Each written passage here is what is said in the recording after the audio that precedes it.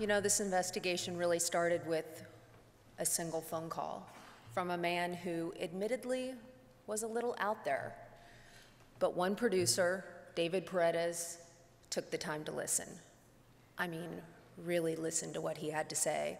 And as it turns out, this dying veteran's confession sparked an international firestorm.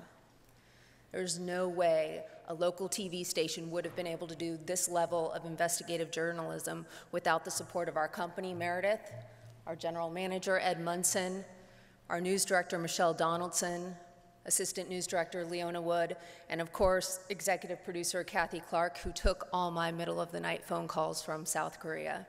Thank you so much from the Peabody Board.